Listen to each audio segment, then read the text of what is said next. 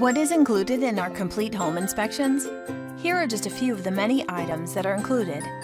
First, we spend time on the exterior of your home, examining roofs, decks, grading, and more.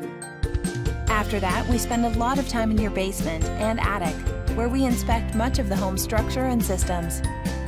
Your HVAC system is one of the focal points as well, making sure it is in good working order. We also inspect your electrical panel and wiring, as this is one of the biggest safety items. We also test all of the plumbing in your home, turning on every faucet. And we make sure to test a representative number of doors and windows to keep your home secure. There's much more we inspect, so be sure to contact us for more details.